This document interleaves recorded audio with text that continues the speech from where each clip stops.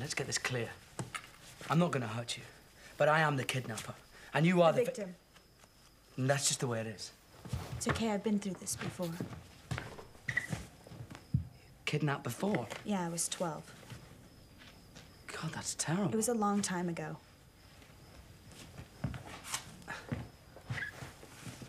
So, so how am I doing? In the kidnap? Yeah. So far, you're not doing too bad. Thank you. Anyway, I'm just tying you up so you can't escape in the night. I know that. Because, of course, you would. Are you gonna try to have sex with me? No. Isn't that what you brought me up here for? No, it's not. It didn't even cross your mind. No. Well, no. Do you have a problem with sex? No.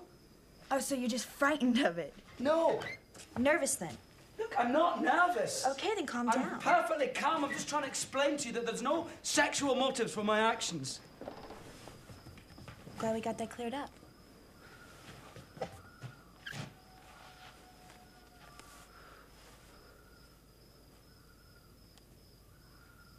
So what did they do next?